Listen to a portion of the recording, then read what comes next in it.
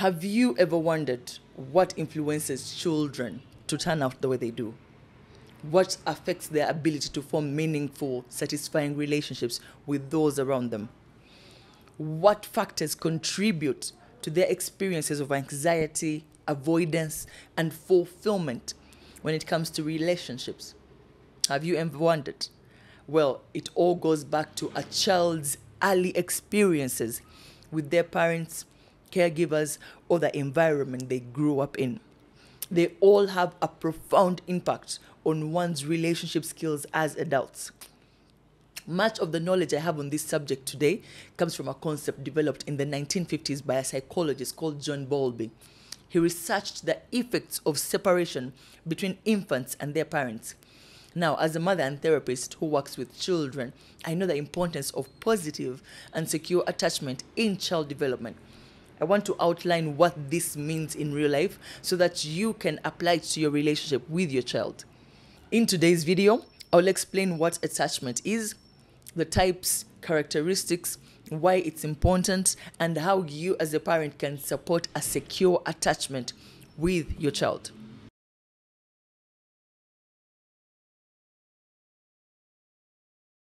John Bowlby described attachment as a lasting psychological connectedness between human beings.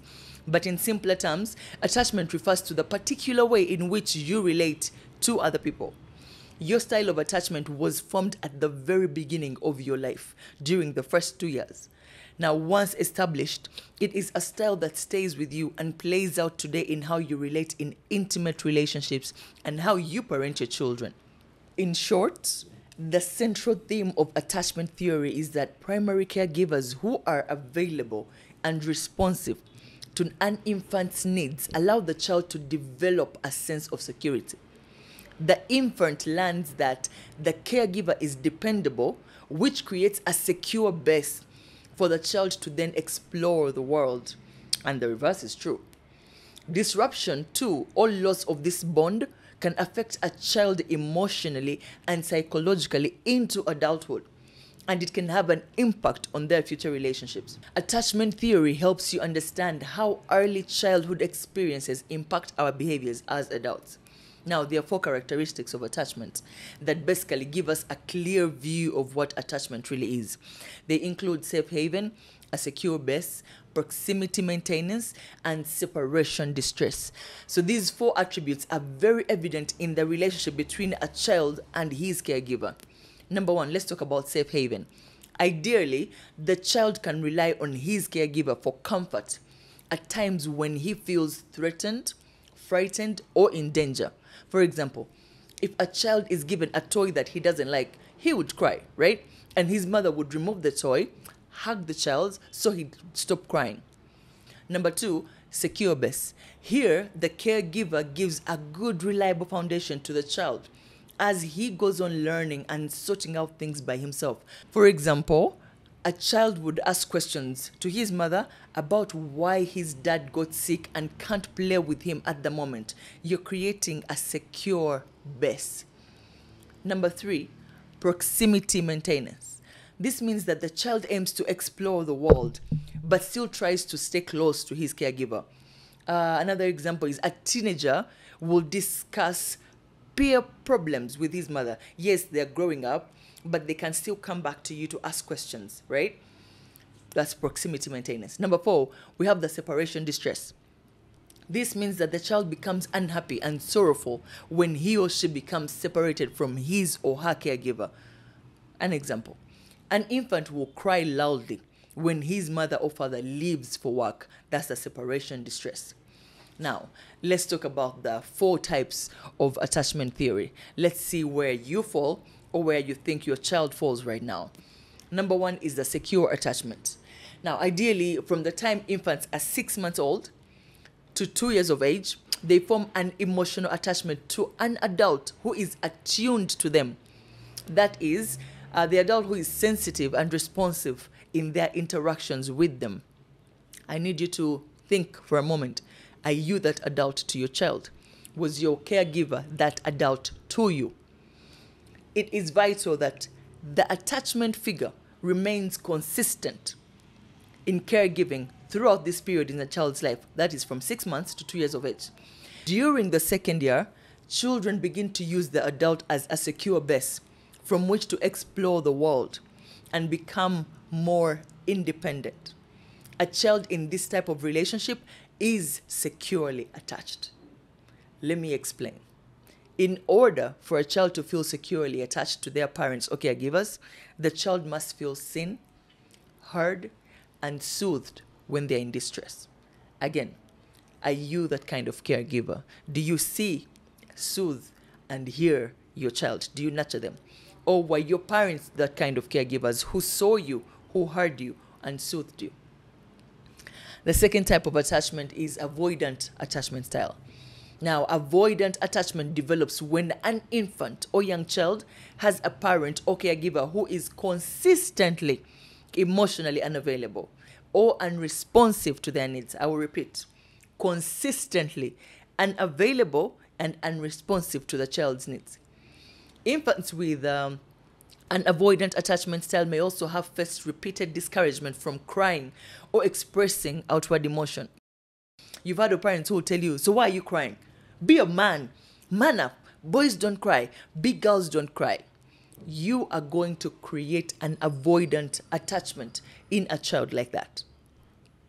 There are adults who are emotionally unavailable, and as a result, they're insensitive to or unaware of the needs of their children. They have little or no response when a child is hurting or distressed. These parents will discourage crying and encourage independence. Grow up. Why are you crying? Often, their children quickly develop into little adults who take care of themselves. These children pull away from needing anything from anyone else and they become self contained. They have formed an avoidant attachment with a misattuned parent. I hear so many people would say, My child is only three years old, but eh, mashallah, he's independent. Why would you be glad that a three year old is independent? She or he still needs you at that age, emotionally, psychologically, physically. Let's talk about the causes of an avoidant attachment.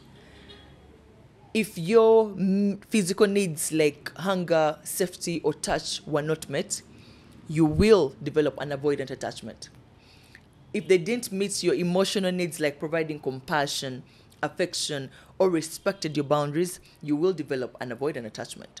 If they didn't show empathy when parenting and they discouraged you from expressing emotions like sadness or anger, you will develop an avoidant attachment. It's a good time to ask yourself are you the kind of parent who consistently is unresponsive to your child's needs and discourage them from being sad or angry or frustrated. Number three, we have the anxious attachment style. That's the third type, or the ambivalent. Now, some adults are inconsistently, inconsistently attuned to their children at times, their responses are appropriate and nurturing. Oh, hi, baby, huggies, kisses, cuddles. But at other times, they are intrusive and insensitive. Like, you don't want to know, like, ah, ah, leave me alone. See, children with this kind of parenting are confused and insecure, not knowing what type of treatment to expect. They feel often suspicious and distrustful of their parents, but at the same time, they act clingy and desperate. These children have an ambivalent or anxious attachment with their unpredictable parent. This is why they become confused and anxious because one minute you do show them love, and then the other minute you don't want to know. So that is where the confusion comes from. So you will notice that they will start to, you know, try to get your attention, sometimes from a negative way, because they crave or miss the other time or moment when you showed them love. That is what makes them anxiously attached. The fourth type of attachment is disorganized attachment.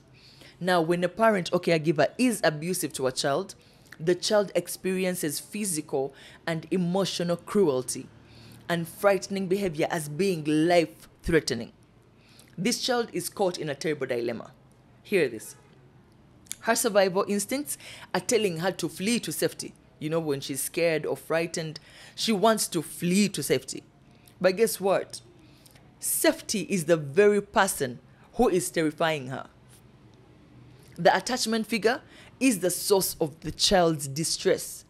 In these situations, children typically deassociate from themselves. They detach from what is happening to them, and what they're experiencing is blocked from their consciousness. Children in this conflicted state have disorganized attachment with their fearsome parental figures. Disorganized attachment develops from a parent's consistent failure to respond appropriately to their child's distress or by a parent's inconsistent response to their child's feelings of fear or distress. I'll give you an example. A child might be distressed to be left with a new babysitter or unfamiliar caregiver. Instead of you soothing the child or providing support, the parent will yell at the child or attempt to use fear or intimidation in an effort to get them to stop crying. Alternatively, the parent might speak reassuringly but avoid physical contact or true connection. In another example, the child might be afraid of being left alone in bed at night. They might cry out for the parent. You know, you've, you've heard them. They're fussy, they're crying, oh, mommy, daddy. And while the parent might sometimes respond with kindness and support, they might at other times ignore their cries for long periods of time or never respond at all. They might respond by yelling or mocking the child's fears. Now, let me explain to you why attachment is very important in childhood development, okay? Through attachment, this early picture of relationship can be critical in establishing a mental foundation the child will use to interact with other people and will dictate the way they feel about themselves. Now, this can impact three key areas a child's sense of self, a child's sense of others, and a child's relationship with him or herself and other people around them. And contrary to what the name suggests, attachment can actually help children increase their independence as a result of possessing confidence in themselves and their caregivers. Attachment essentially can establish a positive or negative path for childhood development that will impact the way children form bonds and interact with other people into adulthood. Attachment is critical in childhood development, and unfortunately, not all children receive equal opportunities for successful attachments. As children do not receive equal opportunities for successful attachments, there are many children who simply aren't raised in environments where a concentrated bond with a caregiver can form a few effects of successful attachment. I need you to pay attention, okay? Children with secure attachments are often best equipped to form similar strong attachments in adulthood as they have experienced early on the ability to form a trusting bond and generally feel comfortable that their needs will be met. Okay?